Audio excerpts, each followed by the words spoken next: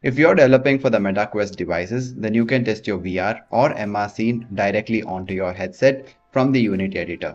Now this will save you a lot of development time as you don't have to build it every single time. Now to set this up, we need the MetaQuest Link software.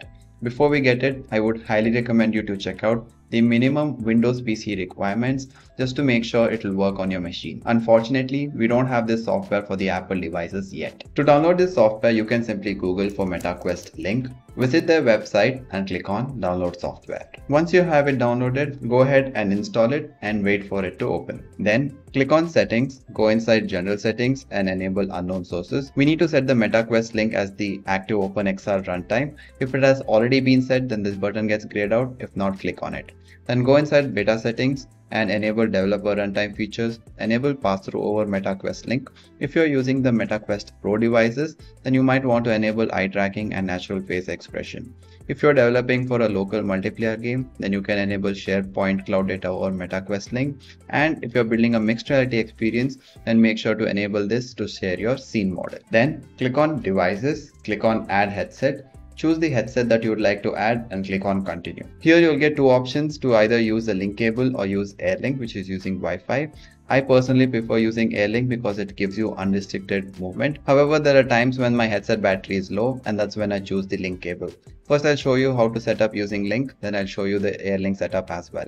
So click on link cable and click on continue.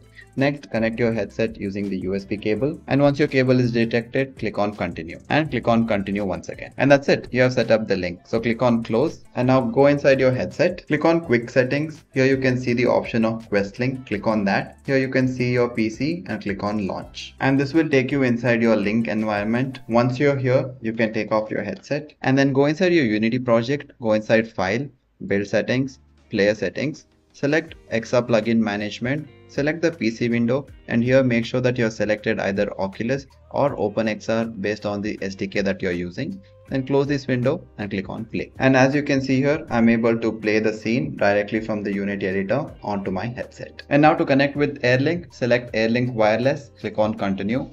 Put on your headset, click on quick settings, click on Quest link and enable use AirLink. Now this will give you a list of all the devices that have the MetaQuest Link app and are connected to the same Wi-Fi.